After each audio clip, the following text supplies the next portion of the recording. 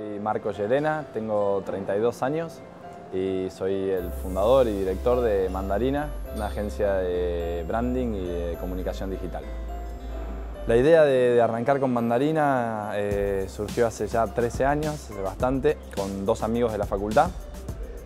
En tercer año, la verdad es que queríamos trabajar y teníamos la necesidad, las ganas de empezar a armar nuestra carrera pero los horarios de la facultad eran bastante complejos, así que empezamos con esa lógica de por qué no armamos algo nosotros.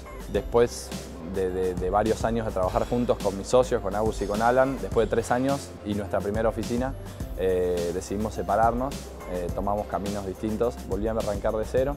Entró una chica que trabajaba, una amiga mía que, trabajaba, que la conocí en la facultad, fue la primera como em, empleada después de, de los chicos, ya había una diseñadora y de a poquito fuimos armando los equipos. Hoy ya hay tres equipos más sólidos, un, equipo de estrategia, un equipo de diseño y un equipo de desarrollo digital. Eh, y eso son, ahí hay una persona de administración. Y el tema de las capacitaciones sí es algo eh, trascendental en la agencia. A principio de año abrimos de alguna manera las el programa de capacitaciones internas.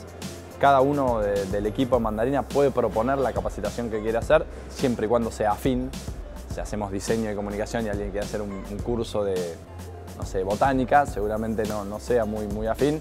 Muy afín para su persona, no tan afín para el negocio. Pero en base a ese programa, cada uno puede proponer eh, en, qué quiere capacitarse. Si, si alguno, si, yo o alguno de los directores quiere proponerle a alguien del equipo también. Siempre digo que mm, si Mandarina crece, crecemos todos y que para Mandarina es muy importante crecer como profesionales sin dejar de hacerlo como personas, digo, para el resto del equipo.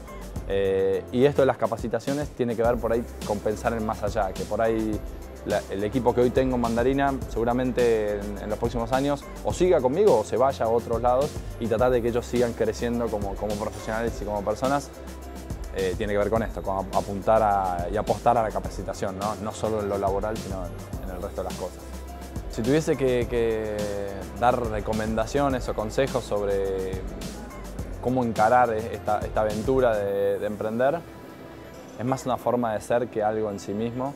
Eh, ser emprendedor es por ahí buscar las soluciones y definir las soluciones uno y no, esperar que, te las traigan o, te digan cómo hacer las cosas. Me parece que la definición es hacer más que esperar.